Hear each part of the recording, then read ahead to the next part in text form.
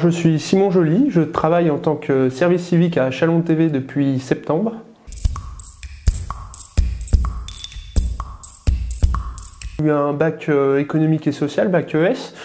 Puis après, j'ai fait un brevet technicien supérieur, euh, deux ans, euh, communication des entreprises. Je l'ai fait à Auxonne. Et puis après, j'ai fait une petite pause où j'ai travaillé et je pensais qu'à travers ce service civique, c'était une reprise en tant que journaliste.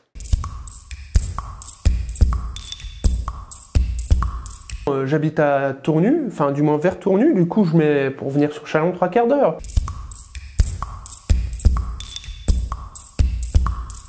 Si j'ai postulé en tant que service civique à Chalon TV, c'était pour justement reprendre, remettre un pied à l'étrier par rapport à la communication parce que j'ai fait un temps de pause et bah, j'en suis très heureux jusqu'à maintenant. Je, veux dire, je contacte des personnes et je refais tout ce que j'aime. À travers euh, Chalon TV, j'ai pu découvrir aussi la communication, enfin, j'ai pu toucher aux outils euh, de la vidéo. Je suis très polyvalent. Le côté euh, enfin, préparation, il faut appeler, il y a le côté interview journaliste, il y a le côté caméraman, et il y a aussi le côté monteur du coup. Des fois, on fait aussi des studios à Chalon TV. Là, il y a plus une régie, euh, contrôler les caméras, un aspect plus technique.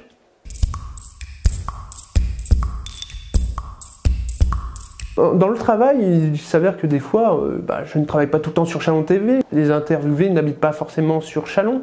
Il m'est arrivé par exemple d'aller sur Louan.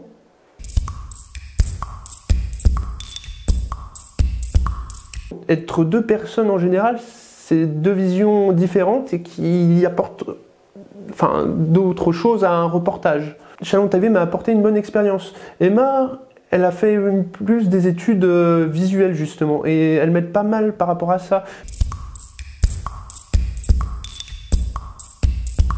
Je pense que ça, ça donne pas mal d'expérience. C'est comme ça qu'on évolue vraiment, je dirais.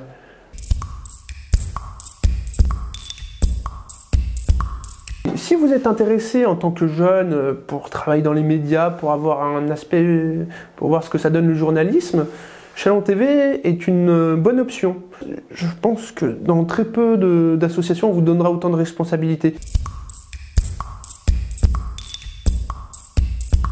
C'est que j'ai touché à tout, comme j'ai dit. C'est pas, on n'est pas dans une case, on fait pas tout le temps la même chose. Chaque reportage est déjà différent.